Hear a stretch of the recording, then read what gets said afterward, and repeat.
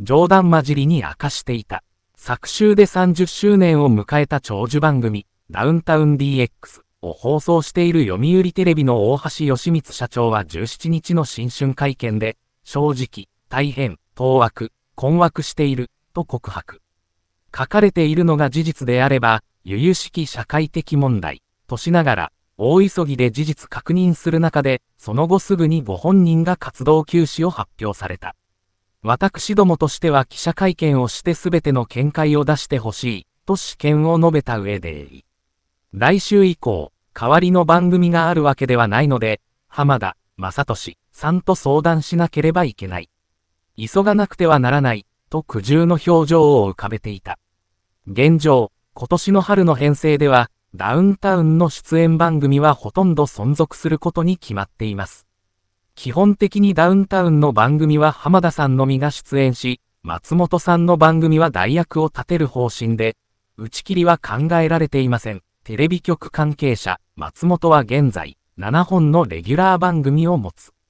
松本さんの活動休止で一番困っているのは、2番組で単独出演しているフジテレビです。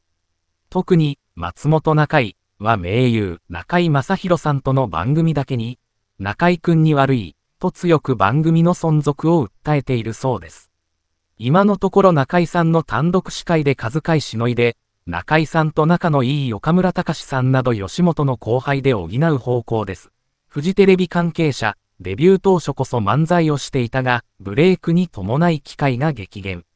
しかし、22年4月には同所で行われた吉本創業110周年特別公演、伝説の一日で、31年ぶりに漫才を披露して話題になった。浜田はダウンダウンの就活を約20年前から考えていたのだ。今後の展開次第では、ダウンタウンとして活動できなくなる可能性も否定できません。その場合、松本さんの意向を浜田さんが直接聞き、二人で判断することになると思います。前出、制作関係者、吉本工業関係者によれば、松本に今後、裁判等の動きがあれば、会社のホームページで発表する予定、だという。